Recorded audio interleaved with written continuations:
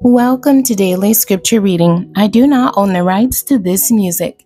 Ezekiel chapter 24, verses 10 through 14. This is the authorized King James Version. Heap on wood, kindle the fire, consume the flesh, and spice it well, and let the bones be burned. Then set it empty upon the coals thereof, that the brass of it may be hot, and may burn, and that the filthiness of it may be molten in it that the scum of it may be consumed. She hath wearied herself with lies, and her great scum went not forth out of her. Her scum shall be in the fire.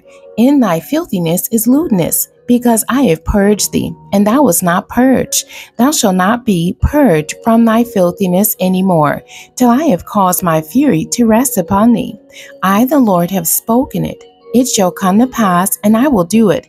I will not go back, neither will I spare, neither will I repent. According to thy ways and according to thy doings shall they judge thee, saith the Lord God. Thee and God bless you, and thank you for joining me today.